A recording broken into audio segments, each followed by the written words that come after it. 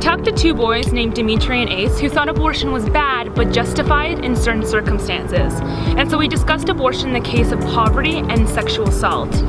By the end of our conversation, we agreed that abortion is never okay given our circumstances and that our circumstances don't ever dictate our humanity.